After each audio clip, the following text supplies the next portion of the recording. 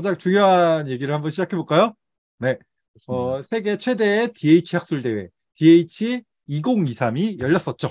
네. 어, 제가 얘기할까? 네 네 이번엔 그 작년까지는 우리 모두가 아는 그 코로나로 인하여 도쿄에서는 온라인으로 기본적으로 온라인으로 열렸었는데 이번에는 오스트레일리아에서 오프라인으로 열렸습니다. 네. 그리고 제가 아는 범위에서 한국 팀은 두 팀이 참가하셨는데요. 네. 하나가 이재현 선생님 팀, 그 다음에 다른 한 팀이 유민선 선생님 팀. 이렇게 두 팀이 참가를 했습니다. 네. 두분 다 제가 다 아는 거고, 둘 다 그 팀에 직간접적으로 연관이 있네요. 네. 네, 그게 중요한 건 아니죠. 뭐 여기에 대해서 뭐 이런저런 이야기들 혹은 내용들은 뭐 검색해 보시면은 금방 나옵니다. 저희 같은 경우는 DH2023이라고 검색을 하시면은 맨 위에 이렇게 나오죠. 네. 이렇게 나옵니다. 그래서 2023 관련된 내용들이나 뭐 애프트랙이나 뭐 이런 것들 다 여기에서 같이 보실 수 있고요. 네. 그 다음에 2024가 지금 확정이 됐나요? 네 워싱턴 DC의 조지 메이슨 대학 조지 메이슨 대학이군요. 네네. 네, 이렇게 있네요. 네, 이쪽에서 열리는데 어차피 저야 뭐 애국하고 있기 때문에 내년에도 해외는 못 갑니다. 음. 근데 여기에서 아주 중요한 소식이 하나 있죠.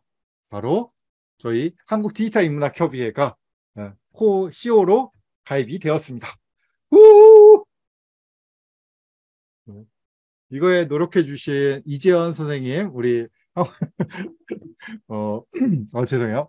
한국 디지털 인문학 협의회 국제분과 위원장이신 이재현 선생님 이하 어, 그 회장님, 박진호 회장님, 김용수 선생님 그 외에도 활약해 주신 그리고 뒤에서 여러 가지 노력을 해 주신 모든 분들께 감사의 인사를 드립니다. 우와! 어, 엄청난 일입니다. 진짜. 네. 어, CEO가 뭐죠? 왜다 어... 조용해? 그러니까 그, 기본적으로 ADHO라는 곳이 어, 세계 디지털 인문학 조직 연합입니다. 그러니까 조직의 연합입니다. 보면 수많은 하위 조직들이 있겠죠. 예를 들어서 유럽 뭐 디지털 인문학 협의회, 미국 디지털 인문학 협의회 뭐 이런 식으로 각각의 나라의 어, 다양한 나라에서 다양한 이제 기존 조직들이 있고 이런 조직들이 모여서 세계 어, 디지털 인문학 조직을 구성하는데 그 핵심 조직 중에 하나로 이제 어, 한국이 들어가게 되는 거죠. 음. 음. 음. 올해는 큰 기대를 안 하기 했는데 어, 잘 됐네요. 네. 생각보다 빨리 된 것 같습니다. 진짜. 네. 네. 왜 내년쯤에 되지 않을까 생각하고 있었는데 네. 열심히 해주신 덕분에 성공을 했네요. 근데 저희한테는 일르라는 소리가 아, 네. 원래 영어 그, 페이지는 천천히 만들려고 했거든요. 여기 나름 이게 상징성을 갖는 게 이게 보통 대륙별로 지금 있잖아요. 네. 그리고 네 일본이랑 타이완 또 이제 한국이 또 들어간 거니까 뭐 나중에 되면 아시아까지 커질 수도 있을 것 같은 생각이 들긴 하는데 그거는 또 지켜봐야 됐고 요번에 같이 된 곳은 이게 아마 여기가 인도 쪽인 것 같아요. 네, 그래서 좀 같이 된 것 같고 그래서 어, 이 학술 대회의 유치나 뭐 이런 것들도 굉장히 크게 작용할 수 있을 것 같고 굉장히 좋은 소식이라고 생각합니다. 네, 유인태 선생님도 한마디 또. 훌륭하십니다. 네. 이제 무슨 일이 생기는 거죠? 그래서 그거를 사람들이 궁금해할 것 같은데 여기 가입한 이후에 이제 음. 무슨 일이 생기나요? 이제 뭐 딱히 뭐 혁신적으로 변하는 건 없습니다. 다만 이제 여러분들이 ADHO에서 이제 진행하는 DH 컨퍼런스 제가 이번에도 이제 ADH에서 진행했던 DH 2023이 아 2023이 있었죠. 네. 이런 컨퍼런스에 참가할 때 조금 더 쉽게 좀 편안하게 참가하실 수가 있습니다. 이래저래 어, 뭐 이런 측면이 있고요. 또 다른 측면은 이 대부분의 여기 조직들이 자체적인 학술지를 가지고 있고요. 대부분의 학술지들이 나름 등급이 좀 높은 소위 말하는 그런 학술지들이어가지고 그런 쪽에 투고하기도 좀 편하죠. 왜냐하면 저희 어, 소속으로서 그쪽에 이제 연합체에 투구한다라고 했을 때 좀 편해지는 측면도 있고요. 그다음에 아직은 뭐 많은 노력을 해야 되겠지만 어, 저희 한국에서 ADH, DADH 어, 2021호 어쨌든 국제 학술 대회를 디지털 문화 국제 학술 대회를 열 수 있는 발판이 되는 거죠. 회원도 아닌데 국제 학술 대회를 하기는 조금 어려운 측면이 있으니까요.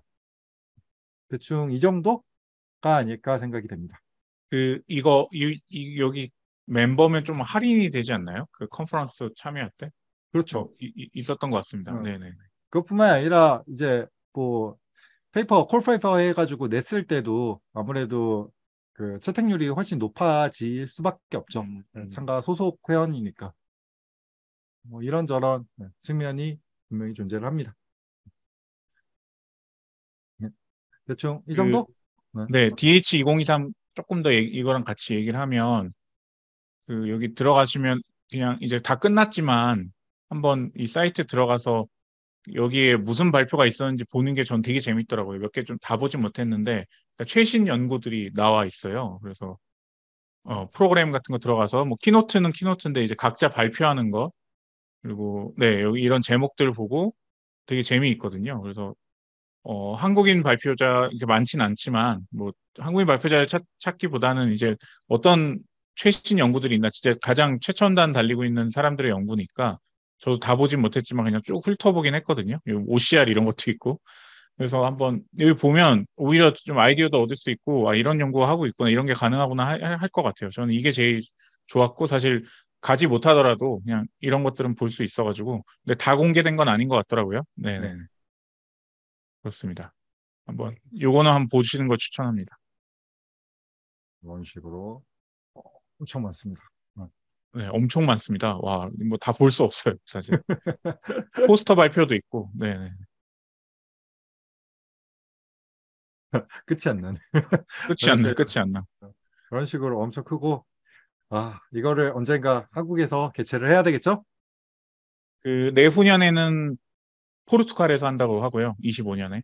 이제 26년을 어떻게 잘 해봐야겠죠. 네, 네.